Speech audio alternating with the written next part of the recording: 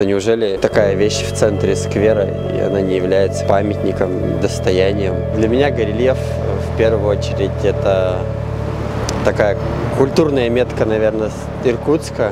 Я сам иркутянин, для меня, даже когда я не знал еще, что это деда произведение, для меня оно ну, в целом как имело какую-то ценность. Удалось демонтировать качественно и хорошо, с полным почти сохранением. Это торцевые элементы горельефа, там непосредственно, ну, можно назвать эмблемы. Стопроцентного решения нет. Весь объект, к сожалению, демонтировать, скорее всего, у меня не получится, потому что это и титанические усилия необходимо будет приложить, и большие финансовые затраты. У меня дома только негде поставить такую штуку. Разместить на даче и там в деревне это будет какое-то кощунство общенациональное с такими как бы ценностями.